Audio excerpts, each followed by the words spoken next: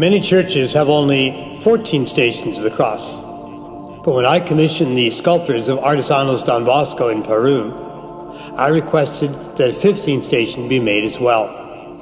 The 15th station, Jesus rises from the dead. For of course, this is the completion of the story. The way of the cross is a path to the resurrection. Here at Holy Spirit, even if you did not celebrate the 15th station as you made the way of the cross during Lent, you had to pass by that sculpture.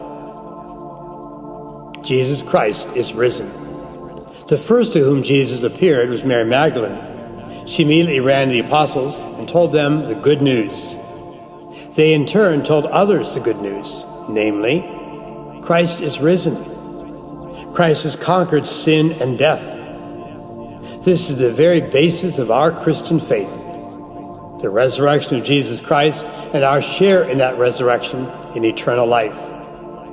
For 2,000 years, others have told and retold the story until it has reached us today.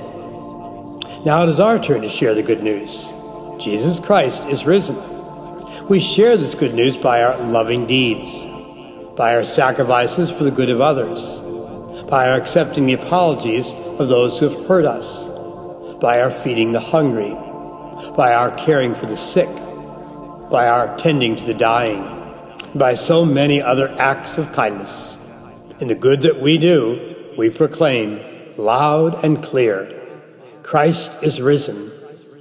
Alleluia.